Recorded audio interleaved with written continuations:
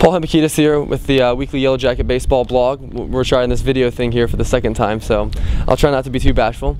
Uh, I have a lot to cover with you guys uh, this week. Uh, we have an uh, exciting week coming up, obviously, with the end of our season uh, approaching, and also have a lot to cover from. Um, the previous week, which was a successful and exciting one for us. Last Tuesday, we went down to Wilmington, a Division three rival of ours, and won 19 to nine. It was the most runs we scored all season long, and which was a nice win for us, obviously. But the most uh, entertaining aspect of that game is actually a funny story I have to share from you, uh, with you. Excuse me. Uh, freshman catcher Parker Brown uh, had a chance to, to get in late in the game, and he got hit by a pitch and ended up making it to second eventually. So there's a uh, situation we have runners on first and second. He's he's on second with two outs, and uh, Ryan Ledbetter comes up, hits a double. Uh, to center field, and obviously Parker should be off uh, with this uh, with the crack of the bat with being two outs, but he chose not to for whatever reason. And once he got going, he rounded third, found a way to trip over the bag. So he's he's laying there on the ground in front of our dugout. So we obviously start laughing, and, and Chris Fox, who's on first, kind of comes up behind him. He has to stop. Parker ends up scoring uh, on the play. Chris ends up getting thrown out of the plate. He's obviously not too happy about not getting the run because of Parker's base running gaff. Um, but we were we were sure to give him a hard time uh, back in the dugout for that, and we'll be sure to do so uh, the rest of the season. There's also a rumor from Parker that he had a, an encounter with a bird in the in, uh, in the bullpen, but that'll just be between the team and and uh, and him. So um, moving on a little bit.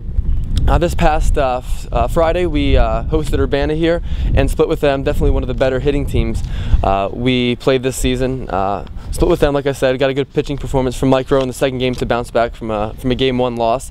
Our game against Urbana on Saturday was rained out, and uh, so we all had the chance to go to a leave, which was exciting for us. Um, this past Tuesday, yesterday, um, we hosted Malone here, and uh, won the first game despite some uh, like a 45 minute weather delay in the fourth inning. We won uh, four to two behind a really good pitching performance from freshman Jordan Amon. He actually earned his eighth victory of the season, which uh, leads the team, which is obviously uh, a really impressive feat for for anybody, let alone a freshman. And before the second game was able to be official, uh, the inclement weather took over, so it didn't even count at all. But we were happy to always happy to beat Malone, so that was exciting for us. Uh, this upcoming weekend is going to be a really good uh, experience for us. We get a chance to host Urbana here at 1.30 on graduation day, Saturday, and we actually travel to their place uh, for their senior day kind of thing um, later in the afternoon. But it'll be, it'll be cool for us to get a chance to play here in front of our home fans um, one last time at least, and uh, for the parents of all the seniors to be here. Dads will throw out the first pitch, and we'll, uh, we'll make it a cool event, and I'm sure that everyone's looking forward to that. Um, our postseason schedule is still far from, from concrete, but we do have uh, some things we know for sure. A coach let us know that we'll be uh, traveling up to Spring Arbor next Tuesday night, and we'll be playing our NCCAA regional there Wednesday and Thursday. So that'll be important for us to get that automatic bid so that we can play uh, in the national tournament uh, at Prasco Park in Cincinnati, as we have uh, two of the past three seasons. So that's something we're obviously uh, really looking forward to because it's always one of the biggest things for us of the season. Uh, at this point, through 42 games in our year, we're 32 and 10, um, one win away from uh, tying the all-time school wins record, which we set last year uh, when we went 33 and 18. So we're doing so at, at, a better pace, you could say, than we did last year. So it would be really nice if we could break that record here, um, or at least tie it here on uh, graduation Saturday, and then maybe break it up at Urbana. That would be a, really good accomplishment uh, for us.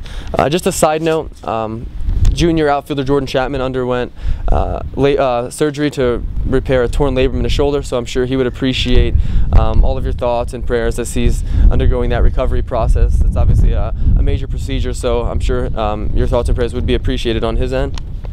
Um, as always, uh, thanks for tuning in, and we, all, we appreciate all the support from fans and from family and parents. Uh, this year has been exceptional with the amount of turnout that we've had, better than uh, any year that I can remember. And it's always uh, nice when you have a chance to, to play in front of a, a, nice crowd here, especially when the weather is this nice. So, uh, as always, uh, thanks for tuning in. I'll be looking forward to filling you in on uh, this this past this next weekend, as well as you know, kind of preview our postseason for you next week in my blog, and maybe we'll get a chance to even get me on video again before the end of the season. So thanks again.